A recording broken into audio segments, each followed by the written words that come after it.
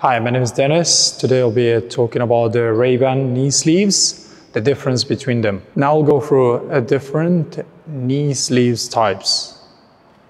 You have the 5 mil, 7 mil, and 7 mil Power Max.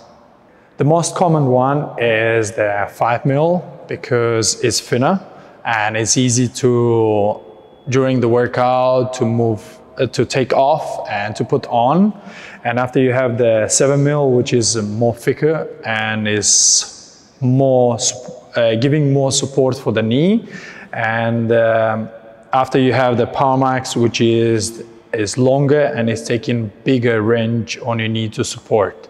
Okay, now I'll be explaining about this to the normal uh, 5 mil and Power Max. What's the difference between them?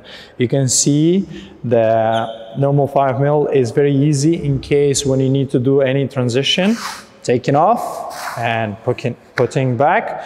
When the Power Max, what is the benefit is First is the range. It's taking more range on your knee, a little bit on the calves and the quads. And when you're doing squats, it's having a very good stability on for the knee and good tight knee so you can do the squats.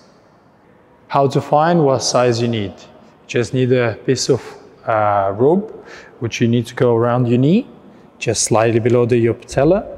You're going around, you find what size you have and after you take one piece of um, uh, measurement and you find the distance and you go to the website on the WOD Guys and you'll find all the information and all the sizes there.